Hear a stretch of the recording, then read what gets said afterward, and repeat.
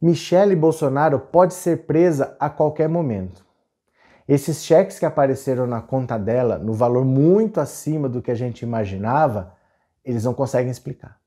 Bolsonaro inventou uma desculpa que era um empréstimo, só que o empréstimo que ele disse que fez para o Fabrício Queiroz ele também não declarou em lugar nenhum, não apareceu esse dinheiro na conta dele, achava que era 24 mil, falou que o empréstimo era de 40, mas o Queiroz depositou 72, eles não têm como explicar. E a esposa do Flávio Bolsonaro tudo que está envolvido com Flávio Bolsonaro também envolve a esposa, porque ele lavava o dinheiro com imóveis. E os imóveis são de um e são do outro. Então, se o Flávio Bolsonaro ocultava patrimônio, ela também ocultava. Se ele lavava dinheiro, ela também lavava. Michele Bolsonaro e a esposa do Flávio Bolsonaro, as duas podem ser presas a qualquer momento. Eu vou explicar isso com calma para você. Vem comigo.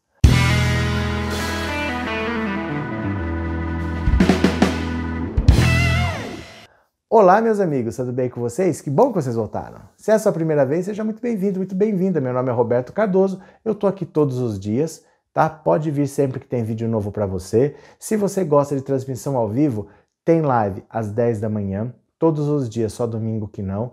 E à noite, todas as noites às 19 horas, venha para participar, você é convidado. O dia que você vier, você vai gostar, tá? Vem à noite aí pra gente conversar ou de manhã. Eu te peço só para você se inscrever no canal. Se você puder fazer até agora, você já se inscreve no canal. Você não tem ideia do quanto ajuda. Faz agora, se inscreve no canal. Dá um cliquezinho e se inscreve. Tá? Se você quiser contribuir, você pode ajudar no Apoia-se. O link está na descrição do vídeo. Você doa o valor que você quiser, mas aí é a seu critério. Tá bom? Olha, as pessoas não estão percebendo uma coisa. Tem um detalhe muito importante nessa história de rachadinha, de cheque, de Michele Bolsonaro. As pessoas não estão percebendo uma coisa. Esse patrimônio todo, esse dinheiro que está aparecendo na conta da Michelle, é fruto de toda a corrupção e todo o roubo que estava acontecendo lá no gabinete do Flávio Bolsonaro. A investigação do Flávio Bolsonaro momentaneamente está parada. Vocês lembram daquela manobra? O juiz Flávio Itabaiana estava investigando quebrou sigilo, mandou invadir a loja da Copenhagen, mandou fazer busca e apreensão. Ele fez um diabo contra o Flávio Bolsonaro e ele já está com tudo desenhado. Ele já traçou o caminho do dinheiro, o que, que acontecia naquele gabinete, ele já tem tudo na mão, a denúncia está pronta. A hora que ele ia apresentar a denúncia, eles conseguiram uma manobra. Flávio Bolsonaro tinha uns amigos lá que falaram assim: ah, mas ele era deputado e, como deputado, ele tinha direito a foro privilegiado, então tem que sair da primeira instância, tem que ir para lá. O que é um absurdo. O STF em 2018 já tinha decidido que o foro privilegiado vale durante o mandato e para situações que aconteceram em função do mandato. Acabou o mandato, acaba o foro. Então não existe essa conversa de que lá atrás eu tinha foro, então. Não, não tem. Ele tem que ficar na primeira instância mesmo, apesar dele ser senador. Então agora é, esse processo vai ter um recurso lá no STF, porque o Ministério Público está falando, não é lá em cima no foro privilegiado, não, é na primeira instância mesmo. E vai voltar. Vai voltar para a primeira instância. Isso vocês podem ficar tranquilo. Ele conseguiu ganhar tempo com isso, né? Porque o Márcio Pacheco, que é um outro deputado que está nessa mesma investigação, na Operação Furna da Onça, já teve a denúncia apresentada. A denúncia do Flávio Bolsonaro estava pronta para ser apresentada. Com essa manobra, ele conseguiu parar a investigação. Ele parou a investigação, mas os dados já existem e estão começando a ser revelados. Inclui esses cheques que o Queiroz depositava na conta da Michele Bolsonaro, que a gente achava que era 24 mil, mas que são 72 mil reais. Jair Bolsonaro disse que isso era por causa de um empréstimo de 40 mil. Não é nem 24, nem 40, são 72. Eles não têm como explicar esse valor. Era aquela versão que eles deram, não serve. E agora, com essas investigações voltando a andar, tudo na mão do Flávio Itabaiana de novo, ele oferece a denúncia e a situação é muito séria, porque o Flávio Bolsonaro ele ainda consegue manobrar alguma coisa na justiça, porque ele fala assim: eu era deputado, eu sou senador, ele começa a inventar umas desculpas lá, mas e a esposa dele. E a Michele Bolsonaro?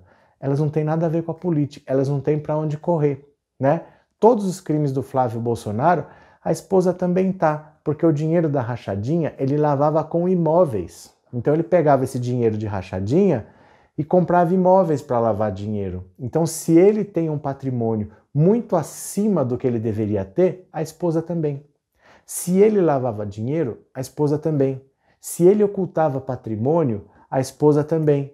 Se ele tinha uma organização criminosa, a esposa dele é parte. Então, a hora que for apresentada a denúncia, muito provavelmente a esposa está junto nessa denúncia. Ela já até prestou depoimento ela já prestou depoimento nesse inquérito das rachadinhas. E Michele Bolsonaro também vai constar, porque o Queiroz depositou dinheiro para ela também. Jair Bolsonaro só não aparece porque ele é presidente da República. Ele não pode ser investigado. Durante o mandato, ele não pode. Para você investigar, você tem que fazer o processo de impeachment. Você tira ele da cadeira de presidente, o presidente não pode ser investigado. Então você afasta tira ele da presidência e julga. Aí, se ele for inocente, ele volta. Mas enquanto presidente, ele não pode ser investigado. Por isso que o nome dele não aparece. Mas tanto a Michelle Bolsonaro como a esposa do Flávio Bolsonaro, elas estão a um passo de ser presas. Presas realmente, porque a hora que a denúncia vier, elas não têm onde se segurar. Eles têm essas desculpas farrapadas e nem essas estão colando essas do foro especial, o Flávio Bolsonaro pode ser preso a qualquer momento. Então, se puder prender o filho do presidente, pode prender a Nora, pode prender a Michelle Bolsonaro. Ah, mas ela nem é mais tão esposa assim. É, já dizem que eles não estão mais juntos, que o casamento é de aparências. Não importa se eles estão juntos no matrimônio, eles estão juntos no crime. Você entendeu? A situação é nessa organização que é a família aí, essa família, eles estão juntos até a alma. Então ele precisa tentar salvar a esposa, sendo esposa de fato, não, mas ele precisa tentar salvar porque se deixa ela solta lá presa e se ela resolve falar? Ele precisa proteger esse pessoal para que esse pessoal não fale. Jair Bolsonaro tem sérios problemas se esse pessoal começar a falar. Não devem falar, mas é complicado. Você entende que a situação é muito séria? Esse juiz Flávio Itabaiana, ele é muito rigoroso. Ele é de uma família de desembargadores. Então, assim, são quatro gerações, ele é a quarta geração de desembargadores. Antes dele, todo mundo chegou até a segunda instância, foram desembargadores. Ele tem o sonho de também ser, no mínimo, desembargador, como todo mundo na família dele. Então, ele é muito rigoroso, não tem nada de errado nos processos dele, são modelos, porque ele quer chegar lá como todo mundo na família dele chegou. Você espreme, torce os processos, não tem um erro, não tem nada, não tem uma vírgula e está muito bem traçado. O que, que acontecia no gabinete do Flávio Bolsonaro? O pivô de tudo é Fabrício Queiroz. Quebrou o sigilo bancário dele, apareceu tudo. Apareceu que ele contratava pessoas. Entre essas pessoas, ele contratou a mãe e a esposa do Adriano da Nóbrega, do escritório do crime, Olha o perigo disso. Contratou a mãe e a esposa do Adriano da Nóbrega. O dinheiro do salário delas, o dinheiro dos assessores todos, abastecia as milícias, porque Flávio Bolsonaro construía prédios irregulares em áreas de milícia.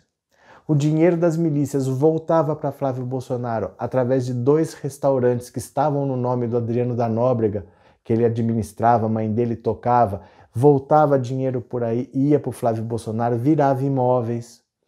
Você tem um esquema todo desenhado, já todo montado e não há mais dúvidas. Só para você ter uma ideia, no mandato de prisão do Fabrício Queiroz, é o mandado de prisão do Queiroz.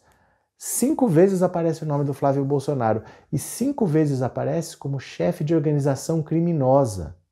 A justiça já sabe tudo o que acontecia ali sabe da ligação com as milícias, sabe que o dinheiro saía, pagava conta, pagava plano de saúde, pagava a escola. O próprio Flávio Bolsonaro já admite. Essa semana ele já deu uma entrevista falando: é, talvez porventura eu tenha pedido para o Queiroz pagar contas para mim. Veja, ele nunca disse que ele é inocente. Tudo que ele tentava fazer era arquivar os casos. Ele nunca tentou provar que ele é inocente. Quando ele viu que não dava mais para arquivar, Ele tentou dizer que ele não tinha mais que estar na primeira instância, que ele tinha que estar no foro privilegiado. Mudou de estratégia, ele passou a só querer ganhar tempo. E agora ele não está nem querendo mais ganhar tempo mais, ele está à espera de um milagre. A verdade é essa, ele está vendo que fato que vai acontecer. Ele já está admitindo que o Queiroz pagava as contas para ele, ele já estava admitindo que o Queiroz ficava com o salário dos servidores, mas ele não sabia. Se ele soubesse, ele não admitiria, mas ele já admite que o Queiroz fazia sim, e não dá para entender por que, que o Queiroz fazia isso e pagava as contas dele, ele não sabia. Não tem por onde escapar. E se não tem por onde escapar, dele, ele não tendo como escapar, a esposa não tem por onde escapar, e depositando aqui na conta da Michelle Bolsonaro, não tem por onde a Michelle Bolsonaro escapar também. E elas não têm a proteção da política. Elas não têm cargos, elas não foram eleitas, elas não têm função nenhuma, elas são só esposas. Elas podem ser presas a qualquer momento. O próprio Flávio Bolsonaro pode ser preso a qualquer momento. E Jair Bolsonaro só não é preso agora porque ele é presidente da República. Mas se ele sofre impeachment, se a chapa é caçada ou se acaba o mandato ele não se reelege, no dia seguinte ele está preso também. Essa era a família que ia acabar com a corrupção. Família ligada ao escritório do crime, família ligada às milícias do Rio de Janeiro, família que o Flávio Bolsonaro tinha uma loja de chocolate que ele não sabe dizer por que, tanta gente comprava lá em dinheiro. Né? Um policial gastou 16 mil reais de chocolate em dinheiro vivo. Olha, é chocolate 16 mil reais. Eu sei que a Copenhagen é cara, mas 16 mil reais em dinheiro vivo. Ele não lembra como que ele pagou aquilo, pagou em dinheiro vivo. Então, assim, não tem mais defesa. A esposa do Flávio vai ser presa. Michele Bolsonaro vai ser presa. Quando? Tem que ter paciência. Tem que ter paciência, mas entenda, já está desenhado. Não tem por onde escapar. E o Flávio Itabaiana é um juiz extremamente rigoroso. Ele é a quarta geração da família dele que é de desembargador de justiça. Ele tem o sonho de ser desembargador e ele o que teve que fazer nesse caso, ele fez e você espreme não pinga nada. Não são os processos do Sérgio Moro que ele torcia a lei, rasgava as leis e agora vai tudo ser anulado. Os casos dele não. Ele é extremamente correto e o Flávio Bolsonaro está ferrado. Atrás dele vai a esposa dele e vai Michele Bolsonaro, no mínimo. No mínimo. Porque eles também faziam rodízio de assessores e aí pega a família toda.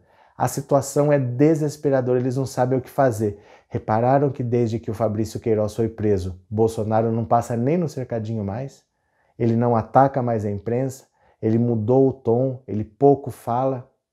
Não é por acaso, não, tá? Não é do temperamento dele, é porque a situação é muito séria. Michele Bolsonaro pode ser presa sim, a esposa dele pode ser presa sim, o Flávio pode ser preso sim. É só o processo voltar e vai voltar agora. Voltando o recesso, eles vão julgar o recurso do Ministério Público, vai sair do foro especial, vai voltar para a mão do Flávio Itabaiano e está aqui, ó. A denúncia está pronta já. Tá tudo desenhado, tá tudo traçado. Essa família vai parar na cadeia. Ah, esperem, tá? Ah, mas, mas já deu terça-feira e ainda não foram para cadeia. Não é novela. Esperem, porque vai acontecer tá bom? Agora no final do vídeo eu vou deixar o nome das pessoas que ajudam o canal lá no Apoia-se, que é uma forma de agradecimento. Fechado, meus amigos? Um grande abraço para vocês e eu já fui.